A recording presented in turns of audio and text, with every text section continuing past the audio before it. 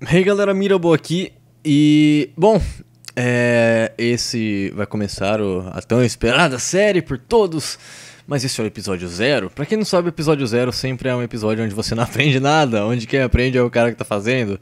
Então eu queria conversar um pouco com a galera pra melhorar os próximos episódios, os episódios números naturais. Uh, esse é o episódio zero do, do, do, Guia de Dubstep. Eu ainda não decidi o que eu vou chamar ele, mas vai ser tipo Guia de Dubstep, alguma coisa assim. E.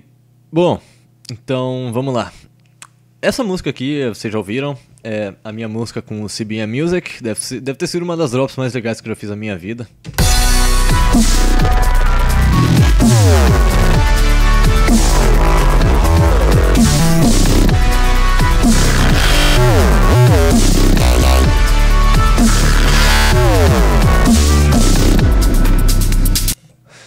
Peguei ela porque ela tem muitos bases que eu posso demonstrar um pouquinho, tipo, o que eu quero atingir com, com a, essa série do, do, de dubstep.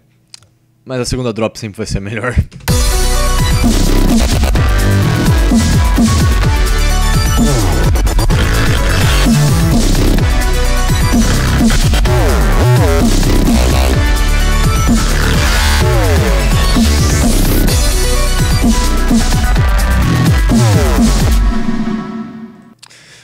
Enfim.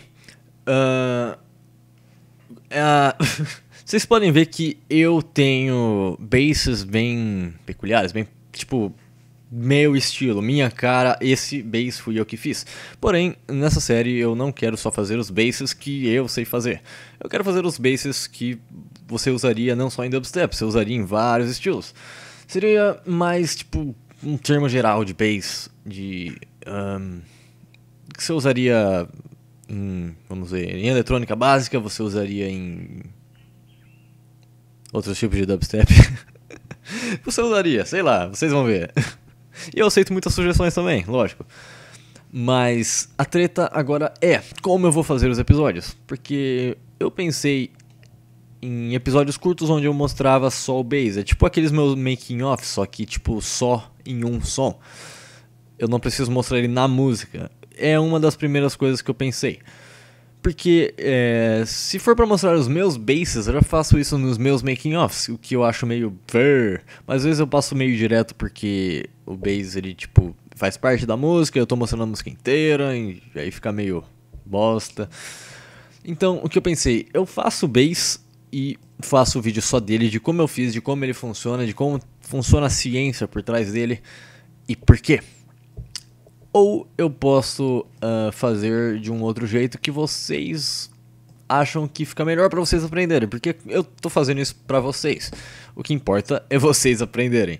Então, eu só queria saber se fica desse jeito ou se fica de um jeito mais fácil de todo mundo uh, que todo mundo concorde. Se quiser me dar exemplo de uh, alguém não. não, sim, se quiser dar um exemplo de algum vídeo que eu posso tentar imitar a, a forma de, de ensino, por favor, uh, deixe aí nos comentários, eu vou ver com o maior prazer. Uh, eu geralmente vou mostrar, acho que só um é, estilo de bass por, por episódio. Assim eu posso melhor botar uma, um título que combine assim mais com ele, tá ligado? Que quando você vai na playlist para procurar ele de novo, você saiba que é ele em específico. Uh, e é praticamente isso. Uh, eu vou tentar deixar todo mundo a par de todos os termos, porque, bom, por exemplo, eu estou fazendo um base. Aí eu tenho o FM Base, eu tenho Neurosquare, eu tenho WT Base. O que, que é isso? Por que, que você bota esses nomes? Na verdade, esses nomes são os termos. Eu tenho Subdrop, eu tenho. O que mais que eu tenho? O Time Master eu que dei nome porque, na verdade, seria Resample Base o nome verdadeiro dele. Mas, é, eu boto o que eu quiser.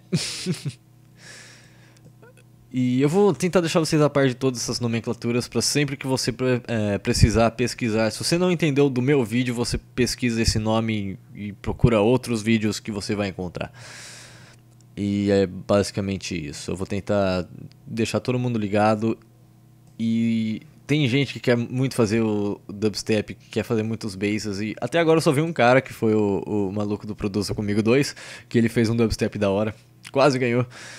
E ele foi o único aluno meu que conseguiu fazer um dubstep forte, com o bass e tudo. Apesar que só tinha um, mas já, já conseguiu, já tá ótimo. Então, é isso, galera. Eu quero ensinar vocês a fazer praticamente coisas como essa drop.